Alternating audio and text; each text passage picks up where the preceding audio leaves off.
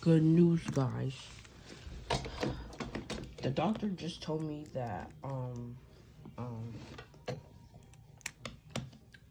you're not injured. Good. I want to fight a Apollo Crews tonight.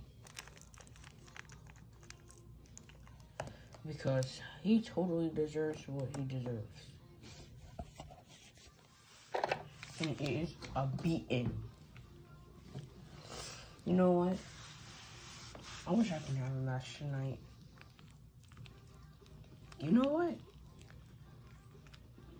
I'm gonna go down to the ring and and go out there to ask the fans if they want to see me versus well us go against Apollo Crews. But we both go out there. You know? Uh, let's get out of here. Have a good match, Alex Riley.